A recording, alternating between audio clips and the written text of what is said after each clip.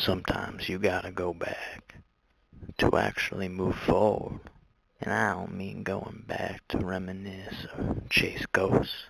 I mean going back to see where you came from, where you've been, how you got there, see where you're going. I know there are those that say you can't go back. Yes, you can. You just have to look in the right place. Big fucking red. Rio Grande.